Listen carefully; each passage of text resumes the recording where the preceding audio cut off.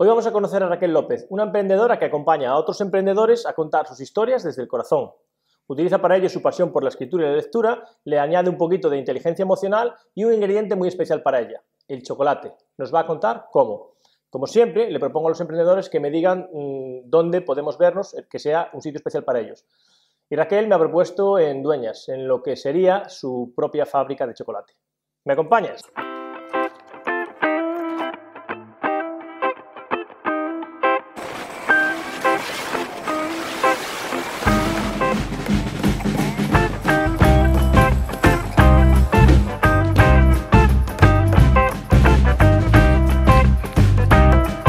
Bueno, Raquel, muchas gracias por dedicarnos tu tiempo. Eh, estamos en Dueñas, esto pertenece a Dueñas, eh, provincia de Palencia. Uh -huh. Te cité para charlar un rato contigo y, y me he venido desde Lugo. Entonces, eh, dinos qué es este sitio al que me has traído. Que por cierto, hacen un chocolate exquisito y está al día Estupendo. increíble. O sea, hasta aquí todo bien. Ahora cuéntanos por qué tiene importancia para ti. Bueno, pues eh, aquí en La Trapa fue donde por primera vez empezó mi trayectoria profesional, porque trabajé como empaquetadora de bombones y ya antes también existe un vínculo bueno, pues más personal con, con este lugar, no solo con La Trapa, sino con el monasterio de donde surge este, esta marca de chocolate. El monasterio que está al otro lado de la carretera, que luego veremos, uh -huh. eh, tiene que ver, o sea, Sí, pues un poco con mi historia familiar, porque de hecho ahí nació mi abuelo materno. Que y, luego nos cuenta. Que luego os contaré. y, luego es un sitio al que ha estado muy vinculada también mi familia paterna. Eh, y de formas muy diversas, o sea, de forma espiritual con la comunidad de los monjes, de forma laboral eh, trabajando las tierras que ellos también tenían, teníamos un rebaños de ovejas que pastaban en las tierras de, de, los monjes y luego incluso mi padre también fue repartidor de la leche de la trapa que se utiliza para hacer los bombones. Pero entonces, ¿tú naciste aquí? Yo nací en Palencia, en el término de Palencia. Esto está entre Palencia y Dueñas, que es el pueblo al que pertenece la marca. Está vinculado totalmente a toda tu historia, no solo la tuya, sino la historia familiar. Entiendo que no es solo el que tú hayas trabajado aquí de más joven, ¿no? Claro, eso es. Yo creo que el vínculo es más fuerte por varios motivos, por lo, por lo, laboral y lo emocional. Hasta tal punto que, bueno, a ver, es un lugar que es muy especial para, para, casi todos los botijeros, que es como nos llaman a los vecinos de Dueñas, porque al final por la fábrica han pasado casi todos los jóvenes, vecinos y demás, eh, ha dado trabajo a muchísimas familias y luego aparte aquí nos congregamos pues eh, días puntuales ¿no? de, del año para hacer la celebración de San Isidro, del monasterio, o para hacer, en Semana Santa se hace también una chocolatada comunitaria y luego en cualquier momento de la semana, pues a lo mejor el sábado venimos a desayunar y jugamos con los peques en el parque. Entonces, bueno, al final es un, un punto bastante especial para todos y en concreto para mí porque mmm, en la en lo que es en el trabajo de emprendimiento ¿vale? y, y del desarrollo de la marca de Literaquel, esto cobró bastante peso lo que es la, la chocolatería. O sea, y me apetecía que, que mi marca estuviera también envuelta en, en, en ese ambiente, ¿no? en, ese, en ese olor sí, y vinculado a mi historia. ¿Qué nos vas a enseñar de aquí? Ahora, una vez terminemos el chocolate, nos vas a enseñar algunas cosas más aquí cercanas. A, nos vas a enseñar aquello que está al otro lado de la carretera, que es... Es el monasterio de la Trapa, uh -huh. que precisamente es donde se empezó a hacer el chocolate pues ya desde 1891. Hasta el año 1960 o así se estuvo haciendo allí y luego ya vendieron lo que fue la receta y demás a lo que es ya la, las empresas nuevas que se trasladó a este lado de la autovía.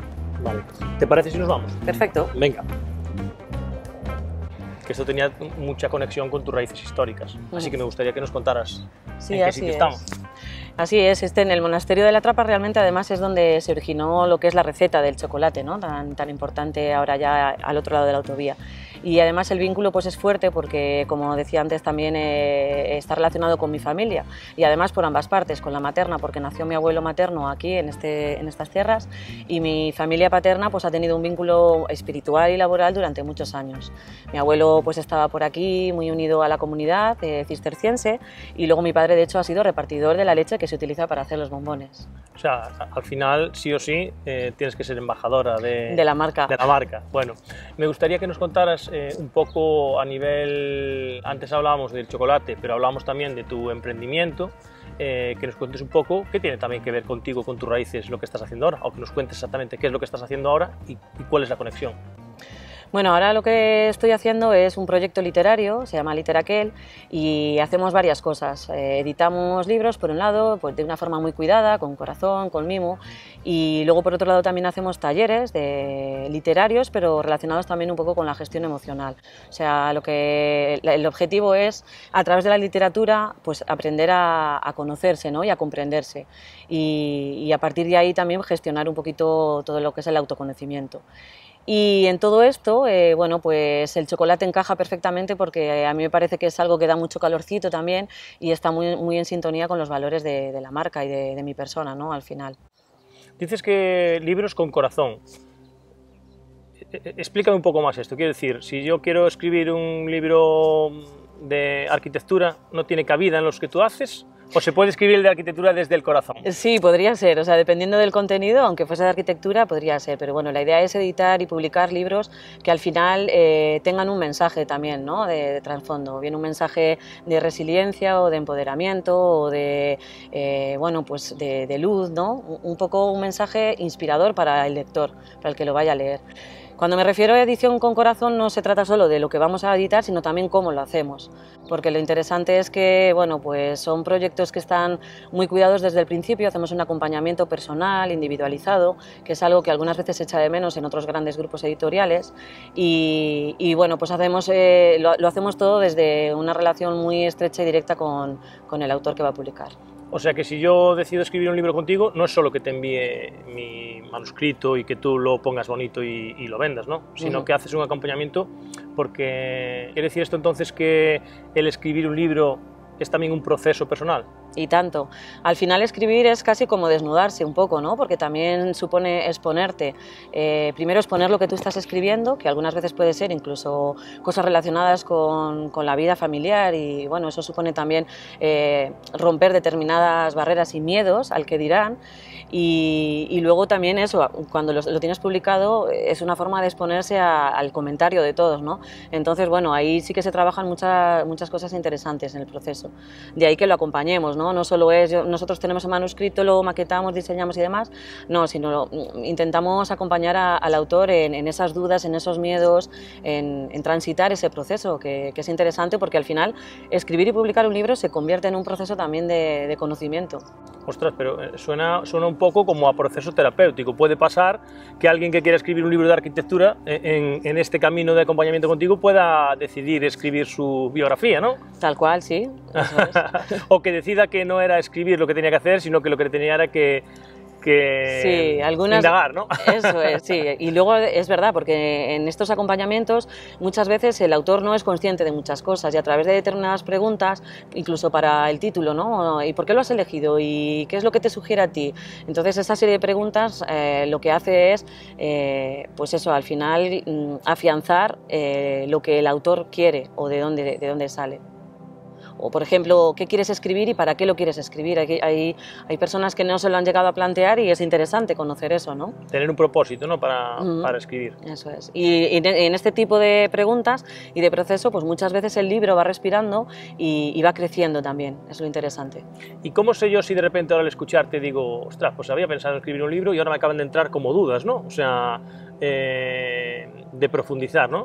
Te llamo directamente y te pregunto. Sí, eso es. Nosotros además tenemos siempre las asesorías literarias, las primeras sesiones de forma gratuita, pues, pues eso, para ah, resolver cualquier duda, lo que sea, aunque lo hacemos eh, continuamente. De todas formas, si alguien me pregunta ahora cuando llega Lugo, bueno, pues y Raquel, esta chica con la que hablaste, ¿qué hace realmente? Em, quiero saber explicárselo. Entonces, no, hace, o sea, no solo editas. Eh, tú y yo nos hemos conocido en nuestra formación de coaching, entonces no sé si el coaching es una herramienta que utilizas para, para acompañar. Em, intenta profundizar un poco más en cuáles son exactamente los servicios que ofreces en este momento. Bueno, sí que tiene que ver el coaching porque algunas cosas sí que me apoyan, ¿no? sobre todo para conocer de qué forma puedo apoyar al autor pero bueno, tampoco de forma muy técnica, no, no las utilizo en, en, la edición en concreto.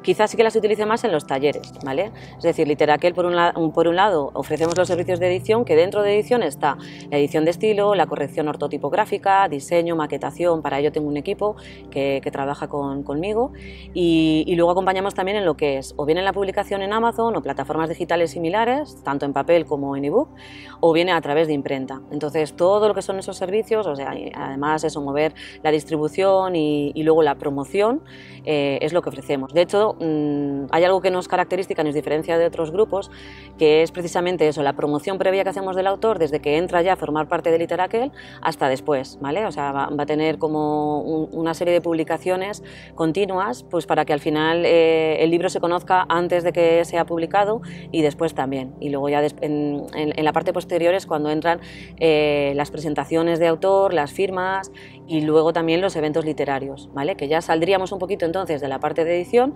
para meternos de lleno en, esos microeventos que estamos organizando y, que pueden ser pues como desde un recital poético musical a una conferencia, a un coloquio, eh, dinamizamos club de lecturas, por ejemplo, y, todo muy relacionado eh, también con, el chocolate, o sea que por eso estamos aquí, porque lo que me gusta es que haya ese toque dulce en, en todos esos sitios, ¿no? Al final. El chocolate le da como... porque todavía traigo el saborcillo y cuando, cuando estaba llegando a la fábrica se huele en el ambiente, entonces le da como un aspecto sensorial a todos esos eventos, o sea que va como hilado, ¿no? Todos tus servicios están como hilados en torno a la literatura y tratas de, de que sea experiencial o vivencial, ¿no? Eso es, y tocando mucho la parte emocional también. Al final el chocolate, eh, bueno, pues quien no lo ha comido de pequeño, conecta mucho con nuestro niño interno, ¿no? Y muchas de las cosas que se trabajan o bien en esos talleres o en los eventos tienen también que ver con las emociones y esa parte me, interesa mucho. Más que las herramientas del coaching, quizá eh, lo que es la inteligencia emocional. Raquel, ¿por qué llora alguien leyendo? Mm. porque se ve, posiblemente se sienta identificado con algo de lo que está leyendo o comprendiendo, que ese es uno de los beneficios de, la lectura, ¿no? No solo el, pasar un rato como ocio, sino el, encontrar un espejo en las palabras. Yo creo que ese es uno de los mayores beneficios de la lectura de la literatura. O sea que no solo es terapéutico escribir, sino también leer que leyendo lo mismo en diferentes épocas de mi vida me ha salido una información absolutamente diferente. Mm, pasa. Tiene que ver con la información que yo necesitaba en ese momento. Eso es, y tiene que ver un poco con el momento en el que tú estás viviendo y, ponemos foco o, te llega lo que, lo que en ese momento necesitas, ¿no? Para, para, aprender, para crecer, como lo queramos llamar. Y es cierto, o sea, de hecho hay muchas personas que les gusta releer libros por ese mismo motivo, ¿no? Porque lo que leíste en un momento determinado con 14 años, cuando lo lees con 29, no es lo mismo. Entonces, bueno, esa es la riqueza también de la literatura, que se escribe desde una perspectiva que tiene el autor determinado, pero que luego en el lector eh, llega de mil maneras y en mil momentos diferentes. He pensado en presentarte como eh, una chica que ha conseguido sacar del dolor eh, las fuerzas para ayudar a otras personas en su vida. No sé si exactamente así. Y no sé si nos puedes contar algo cómo has aprovechado tu dolor en tu historia personal o en tu emprendimiento Sí, en ese sentido, bueno, claro, hubo cambios eh, a nivel personal que me ayudaron a, emprender ¿no? de, forma laboral. Y uno de ellos fue, pues, bueno, eh, el haber superado la fibromialgia, por ejemplo. O sea, una enfermedad que está diagnosticada como crónica y, que yo, pues, gracias al final a, apoyarme en muchas personas que, me podían ayudar, eh, he logrado al final convivir eh, con ellos sin síntomas. Y bueno, eso me, me fortaleció mucho porque al final descubres que mm, que no hay que creer todo lo que dicen y, que hay que confiar mucho en los recursos que todos tenemos dentro, que todos los tenemos, ¿no? Entonces, bueno, yo creo que a través de la literatura es un, medio ideal para sacar todo lo que tenemos y, a través de la inteligencia emocional, como digo, que son los pilares en los que nosotros nos apoyamos. Y sí, yo, bueno, me ha costado creérmelo, pero al final del dolor he conseguido creer en mí también, ¿no? Bueno, vivimos en un entorno, en un, se habla de un paradigma profesional, o bueno, yo creo que es un, mundo nuevo y las tecnologías digitales eh, a veces son una herramienta muy poderosa y en otras ocasiones eh, son, fíjate que es algo para conectar y nos desconectan de nosotros mismos. Eh, ¿Cómo lo percibes tú esto? Pues con cierta distancia, o sea, hay que encontrar un equilibrio. Sí que es cierto que es necesario estar en las redes y, tener esa promoción y esa publicidad para que te conozca más gente, para llegar a más gente. Yo, de hecho, sin redes, a lo mejor pues eh, no hubiese despegado de la forma que he despegado ¿no? con, con la editorial, porque fue gracias a, LinkedIn también donde empecé a encontrar las primeras autoras, como Ana Regalado, Elena Arroyo o Isabel Iglesias. Entonces, sí, es necesario, pero también con cierta, con, con cierta prudencia. ¿no? Yo lo que suelo decir es que eh, lo mejor es pautarse un tiempo determinado para estar ahí y también encontrar eh, un tiempo determinado para estar conectada con, pues eso, con entornos como este, por ejemplo, con la naturaleza, con sitios donde uno pueda conectar también con su ser, porque si no es muy fácil perderse. ¿En papel o electrónico? papel. Yo lo tenía claro. Sí. Eh, lo que no sé es si te comprometí a ti al preguntártelo, porque entiendo que para algunos editores también haces la campaña para que lo puedan digitalizar y todo esto. Mm, a mí me pasa con los libros, pues un poco pues con lo que hablamos antes del chocolate, ¿no? Que el olor y el tacto y todo esto para mí es necesario. Sí, y nosotros además estamos muy vinculados con, con esa idea, con ese concepto, ¿no? Eh, papel, por supuesto, por eso mismo, porque lo tocas, lo hueles cuando un, libro ya es viejo, ¿no? Y, y, luego la experiencia también, ¿no? Es, es, es, muy distinta. Agota menos también que leer en, en, en formato digital y, a ver, que pueden convivir perfectamente pero no son excluyentes. Yo creo que son complementarios, porque yo también leo muchísimo en, dispositivos, ¿no? Pero ese ratito reconozco que, que, me trae más a, mi ser. Y, y, bueno, yo creo que, que pueden convivir perfectamente. ¿Puede salir un libro desde el dolor? Por supuesto, sí. De hecho, yo creo que algunas veces escribe más cuando se está mal que cuando se está bien. No sé si era Joaquín Sabina que hablaba de la felicidad doméstica, ¿no? Que, que en ese momento él no creaba nada, no creaba canciones, pues suele pasar. Hombre, el que se dedica a escribir va a escribir en cualquier circunstancia de su vida, seguramente, pero sí, del dolor se puede escribir y además eso, lo que decías tú, es, muy terapéutico, ¿no? Porque escribir es al final un medio para sacar lo que hay dentro. Entonces estamos ayudando también a, canalizar todo eso que se ha podido quedar enquistado. Eh, el hecho ya de sacarlo eh, a la hora de escribirlo es muy terapéutico, muy catártico. Vale, entonces te voy a pedir que, nos plantees, que nos sugieras una herramienta sencilla eh, para salir de una emoción en un momento puntual o de un estado pues... de un enfado, por ejemplo. Escribirlo en un diario, escribirlo... describir el Tal cual, enfado. aunque sea así a vómitos, ¿no? Sin saber muy bien qué vas a escribir, ponerte a escribir y lo que salga. Y en ese momento el enfado seguramente baje también. Muchas veces cuando se escribe, se, mm, sin que se vuelva a leer, ya se ha comprendido, ¿no? Que a lo mejor no es tanta la, la intensidad del enfado. Y, y, luego lo bueno es que incluso lo puedes volver a releer y comprender, ¿no? De dónde venía ese enfado, qué es lo que te enfada o y, tienes ahí siempre ese espejo. Al final es que la literatura como espejo es una de las mejores herramientas de autoconocimiento. Antes me hablabas de los talleres en los que utilizas también eh, los chocolates. Eh, explícame un poco más en qué consiste el taller. ¿Es un taller de, de un día entero, de mediodía, de...? Hay algunos de ellos, por Sí, ejemplo. hay diferentes talleres. Hay talleres que son, por ejemplo, para no autores, o sea, para todas aquellas personas que no se consideran autores, eh, pero que a lo mejor les apetece escribir o, o, ponerse a ello.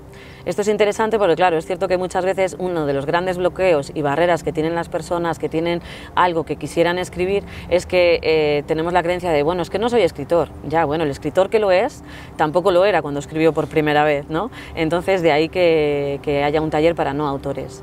Y luego también hay talleres de tres días, por ejemplo, eh, que son un poco más para, bueno, mmm, profundizamos en determinados temas. Podemos hablar del tema del duelo, el tema de la autoestima o, bueno, temáticos, ¿no?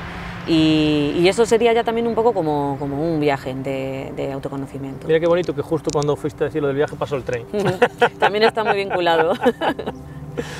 bueno, pues eh, recientemente tuviste, hace unos días, uno de lectura o de qué se trataba este que tuviste recientemente? Sí, estuvimos dinami estuve dinamizando eh, bueno, pues las jornadas inaugurales de un club de lectura de la Biblioteca de Tudela de Duero, que yo estuve trabajando hace tiempo allí. Y bueno, pues por ejemplo ahí la actividad se trataba eh, de dinamizar un poco lo que es el primer encuentro entre todos los participantes del club, de forma que hicimos un juego, una, una dinámica, eh, para adivinar el título del libro que se iba a proponer para leer en el mes siguiente. ¿no? Y bueno, estuvo chulo porque era a través de pistas pistas, eh, pues eh, se trata de una novela en forma de carta y hay un secuestro de por medio y la autora es argentina, por ejemplo, y vamos dando pistas y al final, bueno, pues dimos como varias palabras sueltas en las que se encontraba el título, pero tenían que ordenarlo, ¿no? encontrarlo. Y, bueno, funcionó muy bien. La gente está deseando también sociabilizar y encontrarse. Y claro, nosotros ahí nos sentimos muy cómodos porque va muy en, la línea con nuestros valores. Eh, ¿Me puedes poner un par de ejemplos o tres, eh, sin que se cele nadie, de algunos últimos escritores que, o sea, sin poner nombres si no te apetece, de, de esos escritos desde el corazón? Escritos desde el corazón. Bueno, Entiendo que, que todos, porque además conozco a muchos de ellos. ¿De los de Literaquel te refieres? Sí, claro. Sí, bueno, es que de, de los que hemos publicado eh, diría que todos, ¿no? Pero bueno, a ver, hay uno en concreto, el de Mel en Iglesias, ¿no? Cuentos para disfrutar y despertar, que está escrito mucho desde, desde la víscera. Bueno, sabes que estuve ayer con ella. Además. enseguida veremos el vídeo. y, bueno, son siete relatos que están escritos mucho desde, desde el interior. De hecho, ella de forma muy generosa muestra muchas cosas personales que a mí me emocionaron muchísimo. O sea, cuando las leí, sin tener nada que ver a lo mejor con su historia, eh, cuando leí varios de ellos dije, jo, esto eh, va a conectar con muchas personas, sobre todo porque lo tiene narrado en forma de cuento, ¿no? Y el cuento al final es un, género que conecta mucho también con nuestro niño interno y es muy fácil emocionar a, la persona desde ahí. Pero ya te digo que cualquiera de, los que hemos publicado, porque todos están escritos con muchísimo sentimiento y, todos aportan algo interesante al lector. esa es la idea. Posiblemente digan la loca que pasea en invierno, por las calles más oscuras. La loca que en primavera lee en los bancos, la loca que en verano se lo baila todo en las verbenas, la loca que en otoño persigue atardeceres cuando huele a uva y a hoja seca. La oveja negra que salta verjas y se pierde entre las piedras. Razón lleva. Soy todas esas, y ahora también soy la arruga de la risa, y el cuerpo encorvado que te anida. Soy las sombras del cansancio y las aristas de mis antepasados. Yo soy la voz callada, soy muchas y soy ninguna. Soy quien muta cada mañana. Soy tu fuente y soy mi sed. Soy todas y soy una. Yo soy esta, perfectamente imperfecta y viceversa.